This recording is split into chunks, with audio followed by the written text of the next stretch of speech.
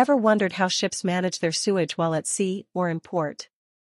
International regulations, like MARPOL Annex 4, set strict guidelines to prevent marine pollution. In this video, we'll break down sewage treatment on ships, the role of holding tanks, how sewage is processed, and the rules for discharge. Let's get started. Ships must retain sewage when they are in port, as discharging untreated or even treated sewage is strictly prohibited. This is done using a holding tank, which stores both sewage and flushing water.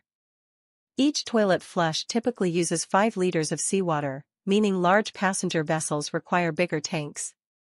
When the ship leaves port, the sewage is either pumped to shore facilities or discharged at sea under strict conditions. But holding sewage for too long has its own issues.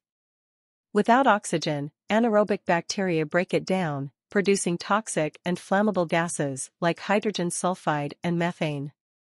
This also causes corrosion inside the tank. To avoid storing untreated sewage, ships use sewage treatment plants, STPs. One example is the Estlin Zero Discharge System.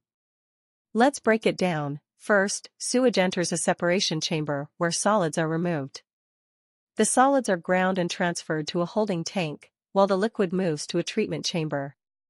Chemicals like chlorine and caustic compounds treat the liquid, making it safe for flushing toilets. Finally, excess liquid overflows into the holding tank for later disposal. Another system is the biological sewage treatment plant, where air is pumped into the sewage to encourage aerobic bacteria to break it down into harmless water and CO2. Any remaining solids settle in a clarification chamber and are returned for further breakdown. The final treated effluent is disinfected using chlorine before being discharged. Marine engineers should know four key terms related to sewage treatment. 1. Biochemical oxygen demand, BOD, the amount of oxygen required by bacteria to break down sewage. IMO standards require BOD to be below 50 mg per liter. 2. Coliform count, this indicates bacteria in sewage. After treatment, coliform levels should be below 250 per 100 milliliters. 3. Solids discharge limits. IMO regulates how much solid waste can be pumped out at sea. 4. Anaerobic versus aerobic digestion. Anaerobic bacteria break down sewage without oxygen, producing toxic gases, while aerobic bacteria use oxygen to create a cleaner effluent. MARPOL Annex 4 sets strict discharge rules for ships, Within 3 nautical miles from land, only treated and disinfected sewage can be discharged.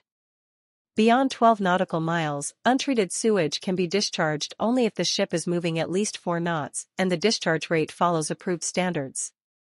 Ships with certified sewage treatment plants can discharge treated sewage at sea without restrictions, but it must be free of floating solids and discoloration. The discharge rate depends on the ship's speed, draft, and width. It is regulated to ensure sewage is properly diluted before reaching the ocean. To keep sewage treatment systems running efficiently, regular maintenance is essential. Cleaning chambers to remove accumulated sludge. Checking aeration diffusers to ensure oxygen flow. Inspecting air lifts to confirm sludge returns properly. Monitoring tank coatings for corrosion or damage. Sewage treatment on ships isn't just about compliance, it's about protecting our oceans. Following MARPOL Annex 4 and maintaining treatment plants ensures that marine pollution is minimized. If you found this video helpful, hit the like button, subscribe for more maritime content, and share your thoughts in the comments below.